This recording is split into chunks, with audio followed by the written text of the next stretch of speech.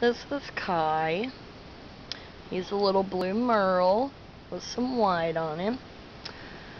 Not sure on eye color because he just opened them, but to me they look pretty blue, so I'm guessing they'll probably be blue. Um, he's got some white feet.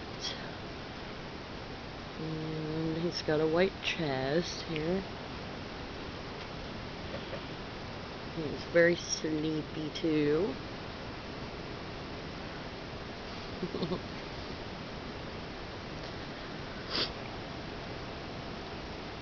Here's his bat pattern.